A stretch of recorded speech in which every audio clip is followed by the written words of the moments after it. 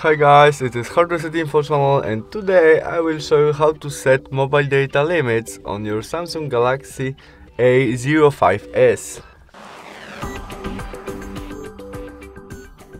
Our first step to do this is from main menu must swipe up the screen and go to the settings. In it, first option, connection, connections and their data usage.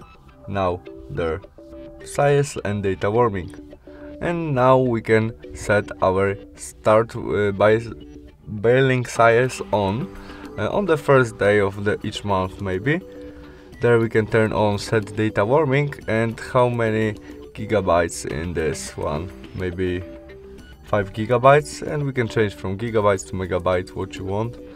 And last option set data limit. We turn on it and we can set it maybe 2 gigabytes, it can be megabytes too.